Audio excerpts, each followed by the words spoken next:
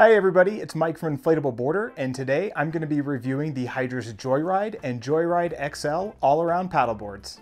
Hydrus BoardTech is an Idaho-based paddleboard company that focuses on function-first designs for both their inflatable paddleboards and their hardboards. The Joyride and Joyride XL are high-performance all-around paddleboards. They have excellent construction, great performance on the water, they're very versatile, and they come with a lifetime warranty.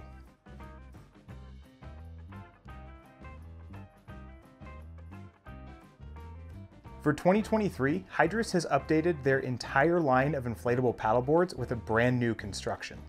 Starting from the inside, we have a new woven drop stitch core.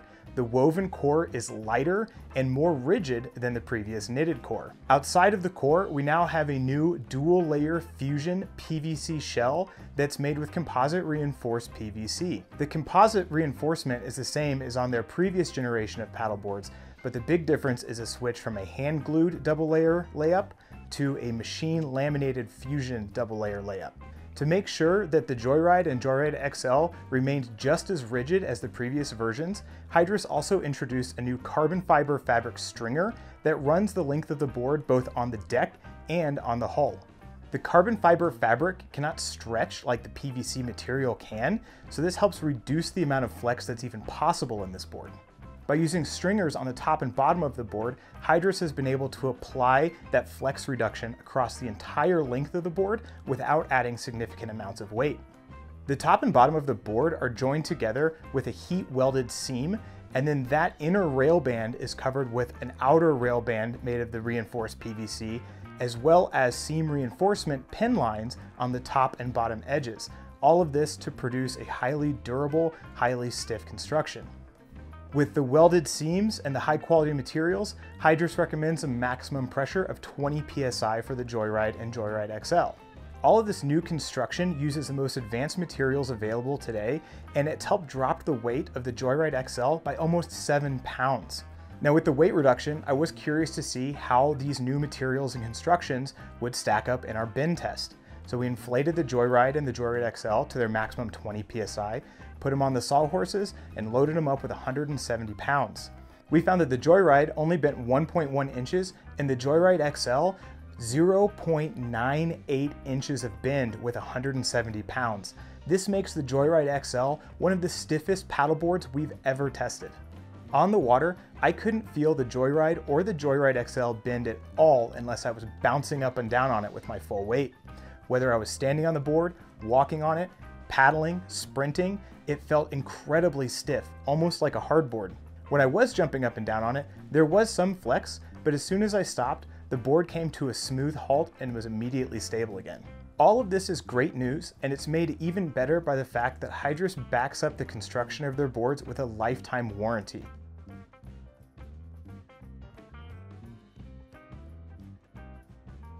The Joyride and Joyride XL are both all-around style paddleboards. The Joyride is 11 feet long, 32 and a half inches wide, and 6 inches thick. The Joyride XL is 11 and a half feet long, 34 and a half inches wide, and also 6 inches thick. The Joyride has a 350 pound weight capacity and weighs 23 pounds. The Joyride XL has a 400 pound weight capacity and weighs 25 and a half pounds. Now both the Joyride and the Joyride XL measured about a half inch wider than their specified size, and that's okay. I didn't notice any difference in performance other than increasing stability, and both of these boards are extremely stable. They both have very parallel sides, wide noses, and medium to wide square tails. These features, along with the stiff construction, all add up to extreme stability. Both boards have a brushed texture foam deck pad that's extremely comfortable whether you're on bare feet or sitting down on the board. However, it doesn't grip quite as well as a textured deck pad. At the tail, the deck pad does change to a diamond texture pattern for increased grip. It also has a raised kick pad and a raised indexing pad down the center of the tail so that you can more easily put your foot in the right spot for pivot turns without having to look down at your feet. Because both of these boards are extremely stable and because of their performance characteristics, I've even used the Joyride XL for up to class 3 whitewater paddling when loaded up for an overnight trip. I've got a write-up about that trip and the whitewater experience over at inflatableboarder.com and the link is below in the video description.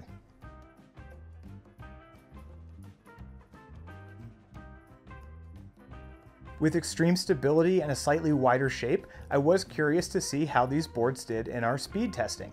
We use a speed coach, which is a GPS device designed specifically for stand-up paddleboarding to get our instantaneous speeds while we're sprinting and paddling so that we can compare them to our other boards. Even with their very stable and slightly wide shapes, these boards are both extremely fast. I was able to paddle the Joyride at a sustained 5.6 mile per hour sprint and the Joyride XL at 5.4 miles per hour. For top speeds, I actually hit the 6.0 mile per hour mark on the Joyride and 5.8 with the Joyride XL. These results put the Hydrus Joyride and Joyride XL at the top of our list for speed for all-around paddleboards and even beating out some touring paddleboards. Now, while you can paddle this fast on these paddleboards, it does take a lot of effort to do. So what we're really more interested in with an all-around is how efficiently it paddles at slower speeds. At a casual paddling cadence of about 25 strokes per minute, both the Joyride and the Joyride XL had an average cruising speed of about 3.7 miles per hour. Now this isn't the fastest result for an all-around paddleboard, but it is certainly in the upper half. And while paddling at these slower speeds, we found both the Joyride and the Joyride XL to be very efficient. The Joyride was moving approximately 22 feet per stroke before slowing down, and the Joyride XL was moving about 21 feet per stroke before slowing down. When you compare this to the length of the board, the Joyride has a gliding ratio of 2.0 board lengths per stroke, and the Joyride XL has a gliding ratio of 1.8 board lengths per stroke. We do this so that we can compare them to other paddleboards of different sizes. In this case, both boards are extremely efficient, once again topping our list of all-around paddleboards, and the Joyride is in the same efficiency category as many touring paddleboards that are designed to be moved very quickly and very efficiently.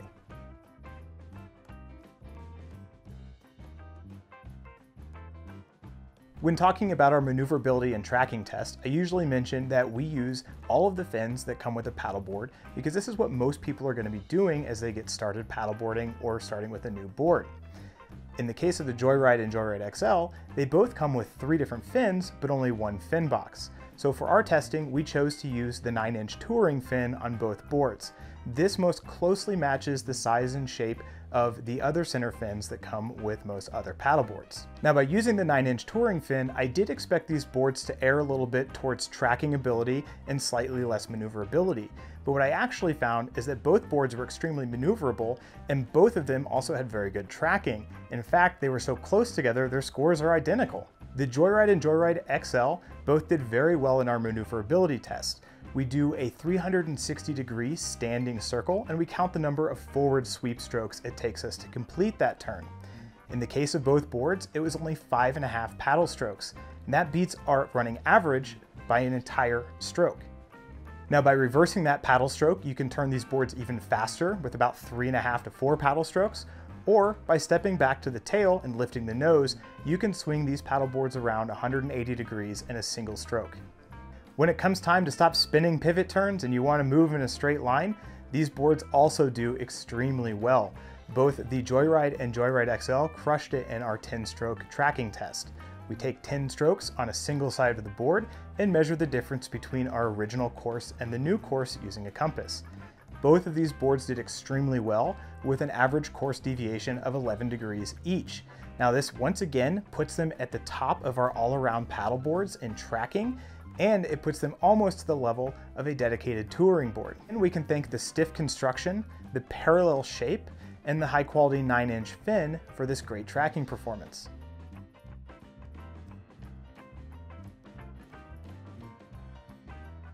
As we've seen so far, Hydrus' function first design gives these boards excellent performance on the water.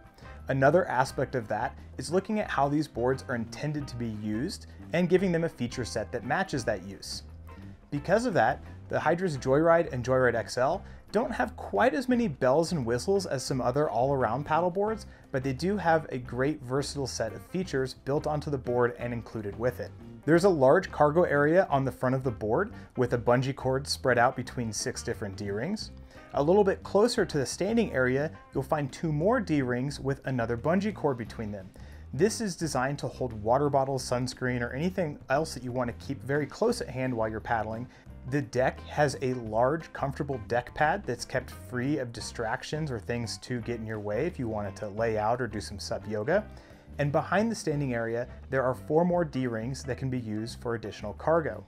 Now there are no accessory mounts built onto the Joyride or Joyride XL. However, each of them does come with a stick-on GoPro mount. These GoPro mounts can be put on any of the flat PVC surfaces of the board, and they do actually work quite well if you install them properly. You want to make sure the board is inflated and then clean the area you're going to put the GoPro mount with a little alcohol swab. Place the GoPro mount on the board and then put some weight on it. You want to leave this alone for at least an hour to allow the glue to cure. Now, I prefer to wait even longer overnight if I can, and by doing so, I've not had any issues of these mounts coming off the boards. Both the Joyride and Joyride XL have three handles on the top of the board. This is a big step up from the previous version that only had the single center handle, and this makes it much easier to buddy carry the board to get down to the water or if you were to be loaded up for a longer trip. At the front of the board, there are also two handles on the deck pad that can be used by a passenger. They can also be used if you are learning to paddle whitewater and occasionally need some help holding onto your board through some of the trickier parts. Under the nose of the board, we do have an additional D-ring for anchoring or towing if you were to need to do that. There's also a single Universal Standard fin box or US fin box under the tail of the board. Now while the Joyride and Joyride XL might seem to be a little bit light in some built-in features, there is actually quite a bit here and enough room to bring everything you need with you on the water. The rear D-rings can be fixed with a bungee cord if you want to do that. They can also be used to tie down larger dry bags or even coolers or milk crates. Along with the board, you do get a coiled ankle leash. Now, Hydrus is known for their river paddle boards as well as their flat water boards, and if you are getting one of these with the intent of using it on the river, I highly recommend you go check out our blog post on leashes in the comments below. There are times where you do want to use a leash, times where you need to use a specific leash, and times where you don't want to use a leash. So please check that out and keep yourself safe on the water. As I've mentioned before, the Joyride and Joyride XL come with three different fins as well. You do get a 9-inch touring fin. This is a stiff fiberglass-based fin with a plastic coating. You get a six and a half inch keel fin. Once again, we have a composite fin with a plastic coating, and the keel fin actually has built-in quick release and quick installation spring-loaded ball bearings, so you don't have to use any thin bolts or nuts to attach this to your board. And lastly, you do get a four and a half inch gummy fin. This fin is soft and flexible and designed to be used in very shallow areas where you may be striking the bottom of the river or lake. The last two items you'll get with the Hydrus Joyride or Joyride XL are a single chamber double action hand pump and the Hydrus mothership bag. The mothership bag is made with a heavy duty nylon material and heavy duty zippers. There is a large main storage compartment with an interior pocket for your fins. These pockets do not have zippers, they only close with a single piece of Velcro, so you do want to be careful when you're opening your bag as you can sometimes have your smaller items fall out. The bags have an extremely comfortable padded backpack harness and two compression straps that actually go all the way around the board to give you the best possible carrying comfort while you're moving the board around.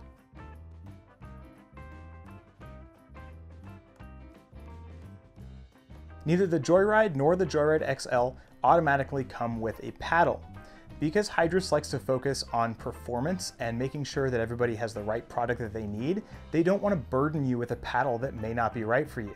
However, they do offer their Hydrus Tough Blade paddle at an incredible discount if you were to bundle it with the paddleboard. The Tough Blade paddle is a carbon fiber three-piece paddle that uses a carbon fiber shaft.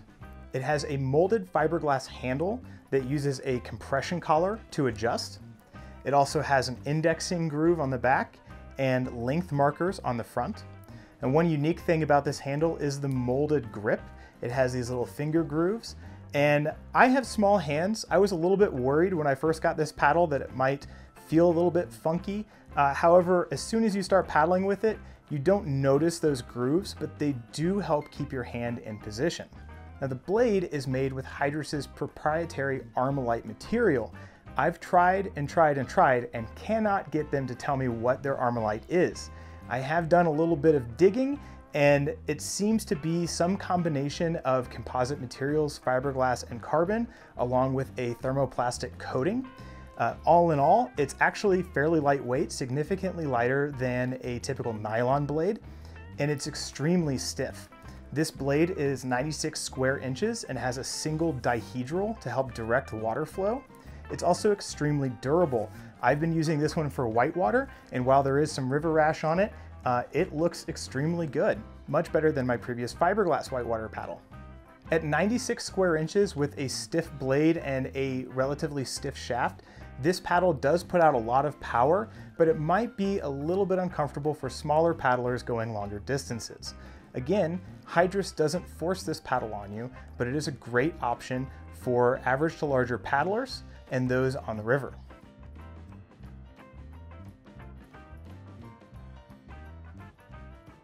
The Hydrus Joyride and Joyride XL are high performance all around paddle boards, but they're still extremely beginner friendly and family friendly. As a larger paddler, I'm actually extremely comfortable on both the Joyride and Joyride XL. The Joyride XL does provide more volume and stability, and it's a great choice if you are wanting to bring along a friend or family member, a pet, or a lot of cargo for an overnight trip or even a you know, long destination picnic trip where you might want to bring a cooler or fishing equipment. The Joyride can do all of those things as well, it's just a little bit smaller so you'll have a slightly more limited capacity and slightly less stability.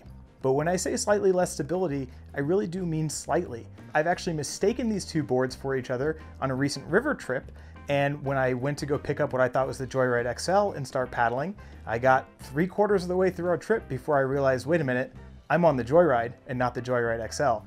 That's how stable these boards are. Both of these boards are also covered by Hydrus's lifetime warranty, and that covers the board against any manufacturing defects that may happen over the reasonable life of the board, which is typically around 10 years. That lifetime warranty is also backed by Hydrus's excellent customer service. As a small company, if you call Hydrus, you'll often end up talking to Jason, the owner, and he loves to help people get on the water, helping them choose the right equipment, helping them with any issues they're having, and overall, Hydrus is known for their excellent customer service. Hopefully I've answered all of your questions about the Hydrus Joyride and Joyride XL. If I haven't, leave us a comment below, and while you're down there, you'll find a link to the written reviews for both of these paddleboards. If you've enjoyed this video, give us a thumbs up below and go ahead and click the subscribe button so you can stay up to date on all of our video content.